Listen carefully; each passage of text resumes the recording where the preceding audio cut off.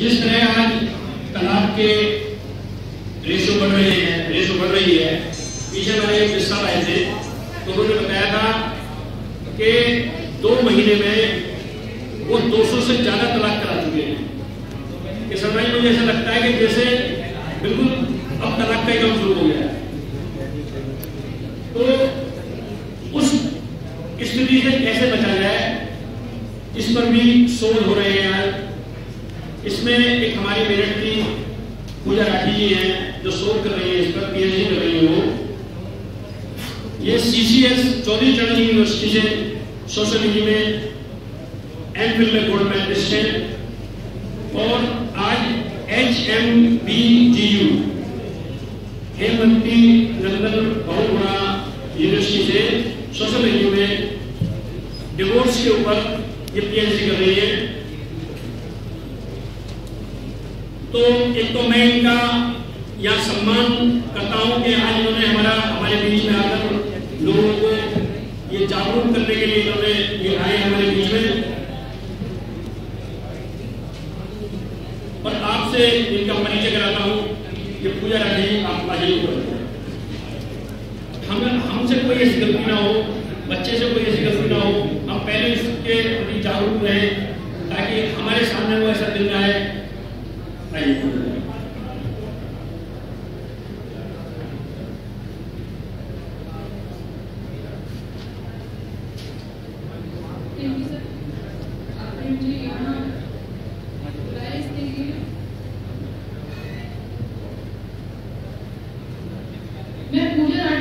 उपस्थित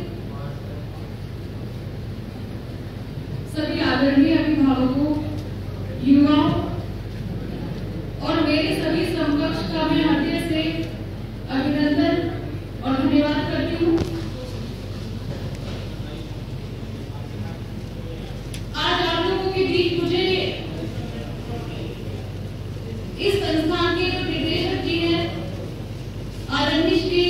महेश शर्मा जी की उन्होंने मुझे इस बारे में बताया और पिछले कुछ समय से वो इस कार्य में इस पूरी कार्य में लगे हुए हैं इसका मुझे जानकारी भी कुछ समय पहले ही मैं इससे अवगत हुई ये विकट समस्या है हमारे बीच में। इनके माध्यम से आप मुझे आप लोगों से रूबरू होने का अवसर प्राप्त हुआ है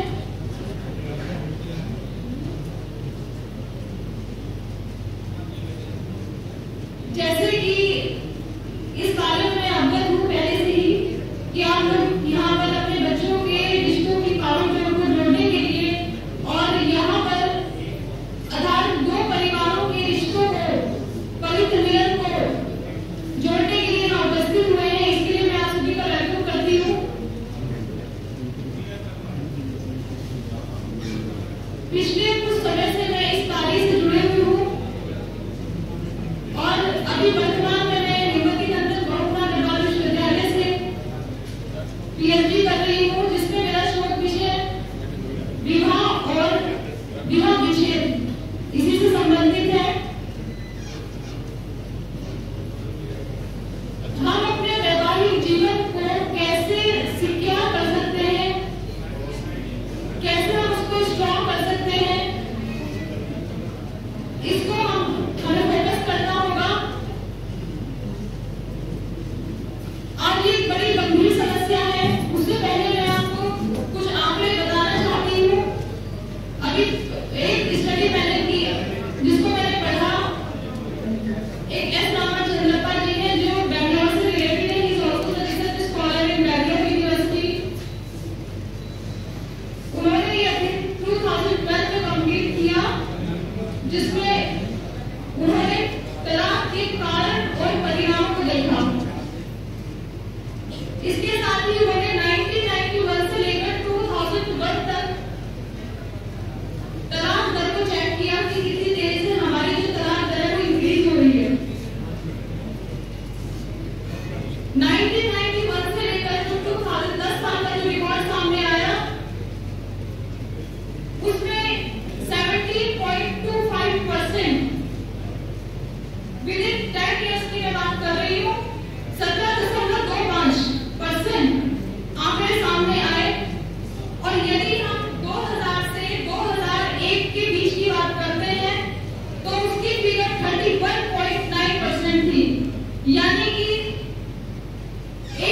में 14 परसेंट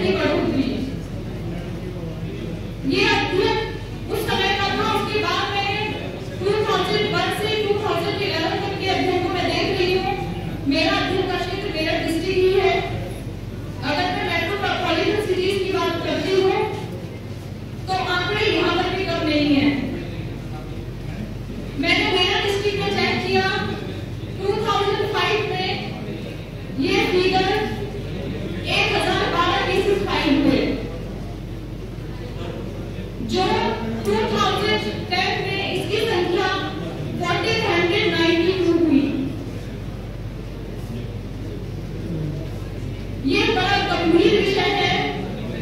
जिस पर हमें विचार करना होगा। लेकिन इसके लिए मैं कहीं ना कहीं ये समझती हूँ कि हमारी सोसाइटी में वैल्यू बेस्ड एजुकेशन